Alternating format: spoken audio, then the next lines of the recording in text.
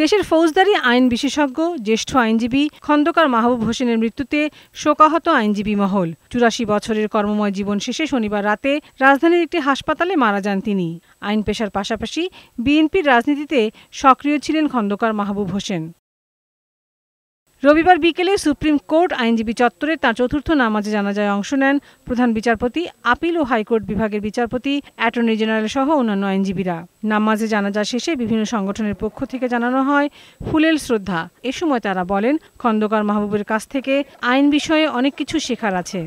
Recently যে জাজমেন্টটা দিয়েছে যাবজ্জীবন জেল মানে কতদিন খাটতে হবে, এটা কিন্তু সহজ ব্যাপার না। উনি একশো পার্সেন্ট আমাদের হেল্প করার কারণেই এই জাজমেন্টটা হয়েছে।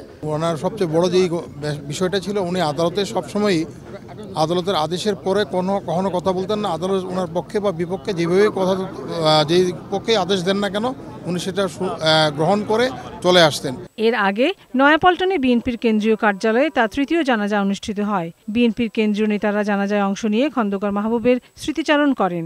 সফল আইন পেশার পরেও তিনি দীর্ঘ সময় দিয়েছেন এদেশের জাতীয়তাবাদী গণতান্ত্রিক শক্তির পক্ষে কাজ করে এদেশে তিনি চেয়েছেন মুক্তিযুদ্ধের চেতনায় ধারণ করে এদেশে সত্যিকারভাবে গণতন্ত্র প্রতিষ্ঠিত হোক।